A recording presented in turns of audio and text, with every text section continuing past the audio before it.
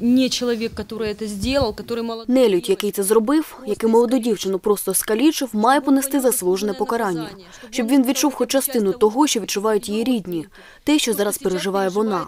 І кожної хвилини цей біль для її близьких, для її рідних. Ми сподіваємося, що сьогодні буде дуже суворий, дуже справедливий вирок. Цю людину ні в якому разі не мають відпустити під заставу. Такі люди не мають бути на волі.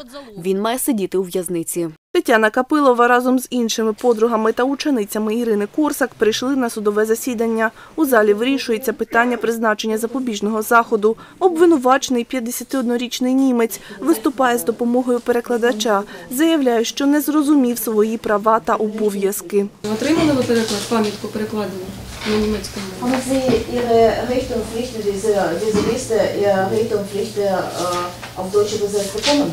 Ja. Так. Отримали? Отримали. Ознайомилися з цим перекладом? Äh, haben Sie das in Kenntnis genommen und äh, durchgelesen? Ich habe keine andere Möglichkeit.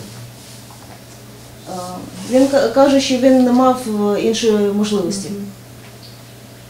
А що саме не зрозуміло? Взагалі права не зрозуміли? Was haben Sie nicht verstanden? Ihre Rechte äh, äh, insgesamt, oder? Ja, Rechte, äh, ihr sagt mir Rechte, aber was für Rechte? Ich habe keine Möglichkeit. Ich stehe und ich höre nur. Mehr nicht. Йому казали про його права, але е, про які самі права він е, тут має можливість тільки стояти та слухати.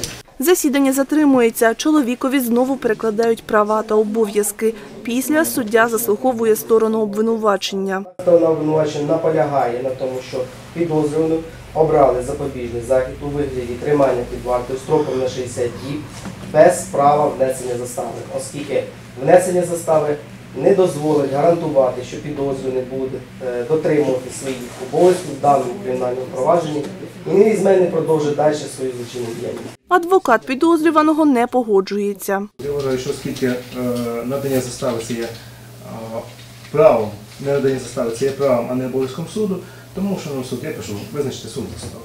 Після перерви суддя оголошує рішення. Клопотання задовольнити, застосувати до підозрюваного Здагана Якута 1 березня 1968 року народження. Запобіжний захід у вигляді тримання під вартою в державній установі Миколаївський слідчий ізолятор строком на 60 днів до 23 листопада 2019 року включно.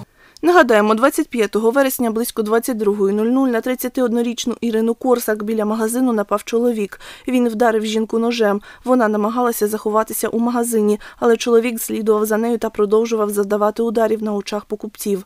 Після побіг до таксі, викинувши накладну бороду та куртку, і покинув місце події. Ірину Корсак доставили до лікарні швидкої медичної допомоги. За словами завідувача хірургічного відділення Володимира Куриляка, жінка знаходиться у реанімації стабільно важкому стані. У неї пошкоджена печінка. За версією слідства підозрюваний 51-річний житель Німеччини, з яким раніше поранена була у близьких стосунках. За правопорушення йому загрожує до 15 років у в'язниці.